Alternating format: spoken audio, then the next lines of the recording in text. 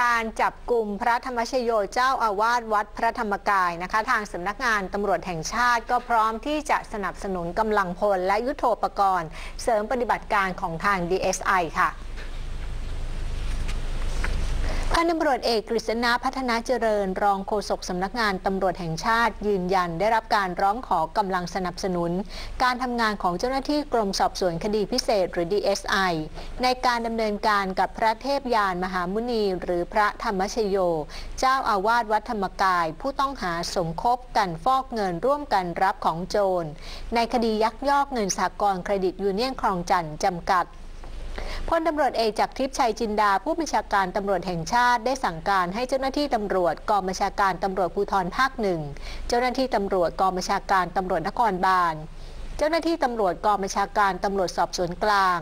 และเจ้าหน้าที่ตำรวจกองบินตำรวจจัดกำลังพล พร้อมอาวุธยุโทโธปกรณ์ ตามที่ทาง DSI ร้องขอ อย่างไรก็ตามที่ผ่านมามีการจัดกำลังดูแลความเรียบร้อยในพื้นที่ตามคำร้องขออยู่แล้ว ส่วนการจะเข้าจับกลุ่มเมื่อไหร่นั้น จะเป็นอำนาจหน้าที่ของ DSI ซึ่งเชื่อว่ามีแนวทางที่กำหนดไว้แล้วอย่างเหมาะสม โดยการจับกลุ่มต้องพิจารณาตามหลักรัฐศาสตร์และนิติศาสตร์ควบคู่กันไป การที่ผู้ต้องหาเตรียมการต่อสู้ทางคดีเป็นเรื่องปกติค่ะ